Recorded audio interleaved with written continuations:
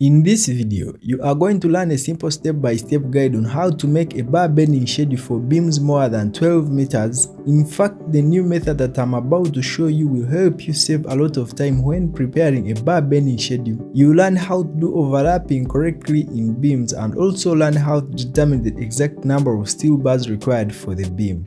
You will also learn how to follow structured drawings to make a bar bending schedule accurately, so be sure to watch this video till the end because you don't want to miss this. Basically, when preparing a bar bending schedule for any structure member, the first step is draw a table having the reference number, the description, the bar mark, the type of mark, number of members, number of bars in each and the total number of steel bars here, with the sides of the steel bar as A, B, C, D, E and F and the total cutting length in this column here.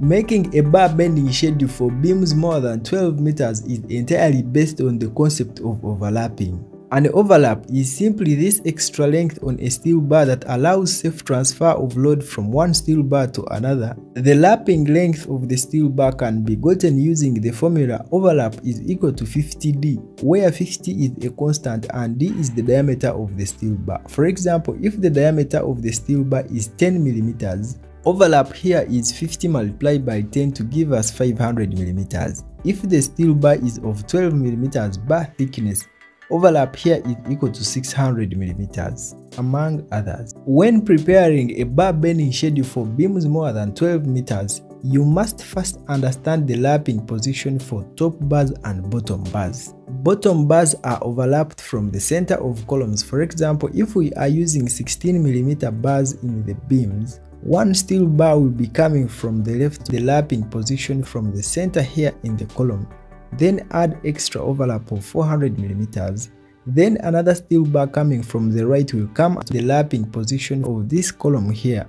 Add extra overlap of 400 millimeters to make this total overlap as 800 millimeters. Then on the other hand, the correct lapping position for top bars is at exactly the center of the beam, that is L divided by 2. For example, if we are having a beam of 20 meters and we are using steel bars of 16 millimeters bar thickness, one steel bar will be coming from the left the lapping position at exactly 10 meters, add extra 400 millimeters. Then another steel bar will be coming from the right to the lapping position at exactly 10 meters, add extra overlap of 400 millimeters to make the total overlap as 800 millimeters. And right now, you might be wondering, why are we saying beams more than 12 meters? This is simply because the standard length for one steel bar is 12 meters meaning when you have a beam more than 12 meters, there is need to add together more than two steel bars that's need for overlapping.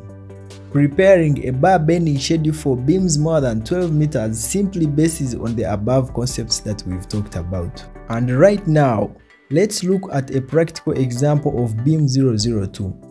Beam 002 starts from grid line 1C to grid line 1F and its total length is 14.4 meters Remember that all our steel bars are of 12 meters and there is no single steel bar that is going to cover the whole beam, meaning the first bar will be bent like this, joined together with another bar having an overlap plus two development lengths for both top bars and bottom bars. But you can't just do that anyhow. You have to keep in mind that bottom bars are overlapped at columns, whereas top bars are overlapped far away from columns and of course at midspan of the beam. The only way that I can explain it to try to really make sense is that let's say this is the top view of the slab with long beams along the x-axis with also other beams along the y-axis with columns at each of these positions Choose one position where to overlap all bottom bars and also choose one position where to overlap all top bars for the beams.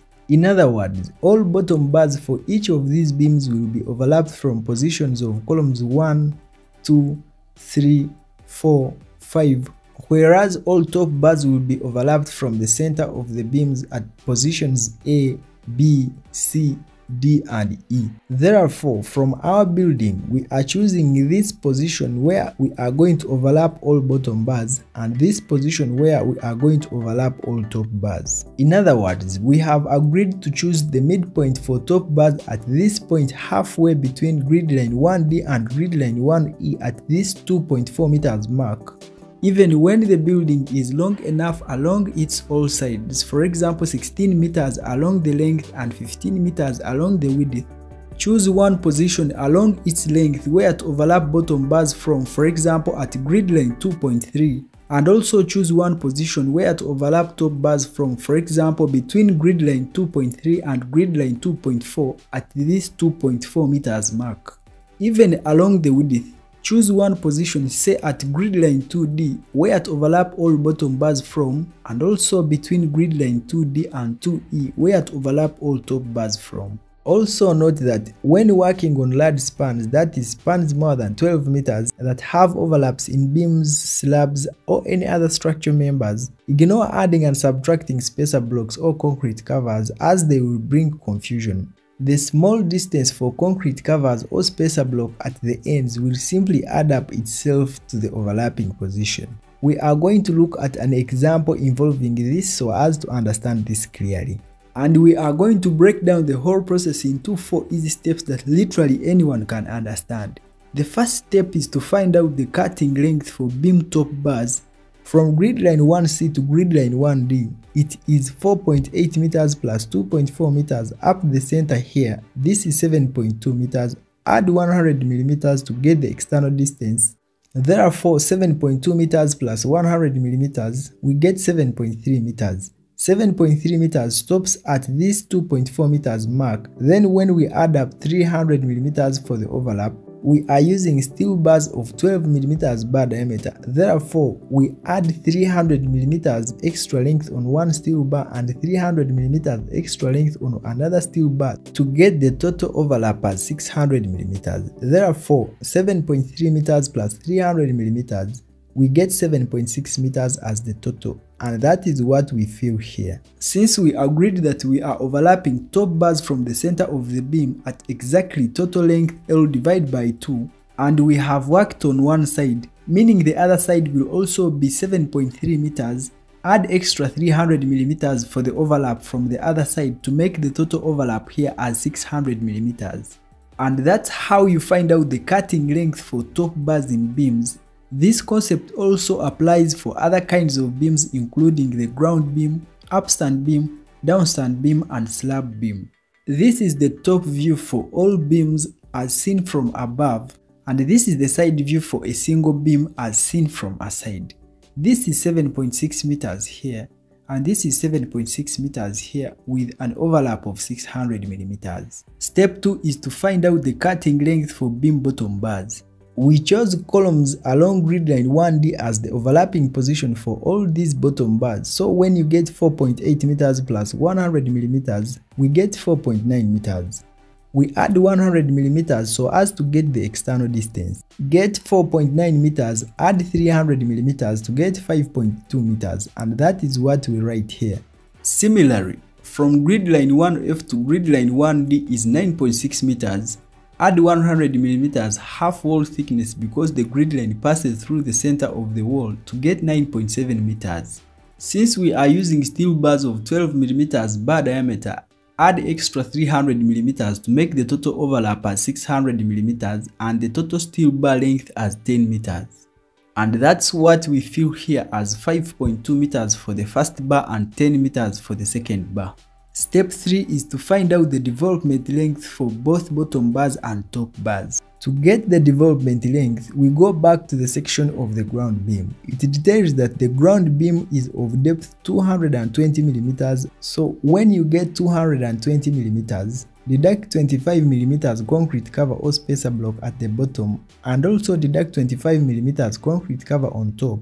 We remain with 170 mm. Get 170 mm, divide by 2 the top development length and the bottom development length. We remain with 85 mm for each of the two development lengths. But remember we want our development length to overlap, the one at the bottom and the one on top. So we shall make this one as 100 mm instead of 85 mm. We simply top up so as these two development lengths will overlap. In other words, the development length on one side will be 100 millimeters and also the other side will also be 100 millimeters. Step 4 is to find out the number of links or stirrups required for the beam. To find out the number of links required, the whole distance is 4.8 meters. This grid line passes through the center line of the column. The columns have 200 millimeters width, meaning one side is 100 millimeters and another side is 100 millimeters also. Since we cannot fix links in the center of columns but rather these small distances between columns, this will be 4.8 meters, deduct 100 millimeters on one side and 100 millimeters on the other side to remain with 4.6 meters. For every distance of 4.6 meters, we need 32 links or beam stirrups. In other words, we need 32 links or beam stirrups for all these distances of 4.6 meters. To summarize all this in a bar bending schedule, these are top bars, these are bottom bars with all these measurements that we've calculated together from start to finish, and links with 32 links required for each distance of 4.6 meters. Bar mark as 01 for the beam top bars and bottom bars. Type of mark or steel bar thickness as H12 for beam main bars and H8 for the links respectively. Number of members as 5 because we have 5 beams with the same size or dimensions that is 1, 2, 3, 4, 5 and this is what we fill here as number of members. Number of bars is 2 to get the total number here as 10. When we add 32 plus 32 plus 32, we get 96. 96 multiplied by 5, we get 480. After adding all these sides as A, B, C, D, E, F, we fill this column for the cutting length here.